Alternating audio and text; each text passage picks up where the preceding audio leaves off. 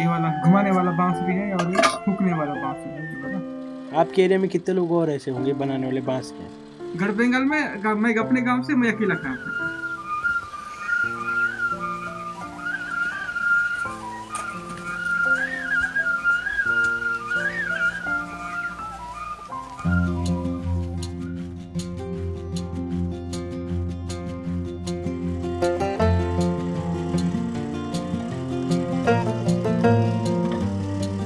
कितना टाइम लगता है एक बांसुरी को बनने एक बांसुरी तो सर इसमें काटने का छीलने का फिटिंग करने का एक, एक बांसुरी एक दिन में बनता है। तो ये बांसुरी यहीं बनती है नारायणपुर में ही कि और कहीं भी बनती यहीं बनती है।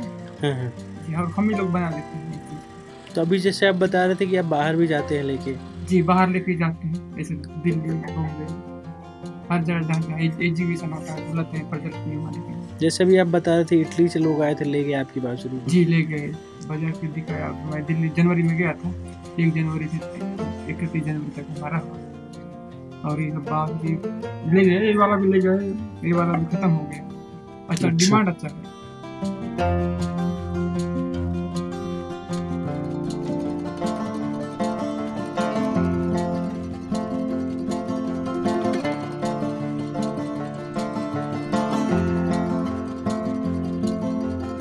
इसका तो बनने में खर्च आता है सर कम से कम सौ डेढ़ सौ रुपये आता है। अच्छा और बिकती कितने में? लगभग तीन सौ। आपके घर में और भी पहले कोई करता था? पहले तो हमारे दादा पे, दादी लोग करते थे कोई बड़े हमारे बड़े पिताजी लोग। लेकिन अब उसके बाद काम तब मैं सीखा हूँ।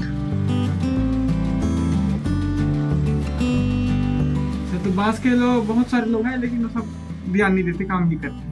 अच्छा। सब अभी कहीं अलग अलग मजदूर काम में, कहीं अलग, और कहीं आउट एरिया में है, बाहर में करते हैं, कहीं अब छोड़ भी दिए तो मैं अपने गाँव से, मैं अकेला काम करता हूँ।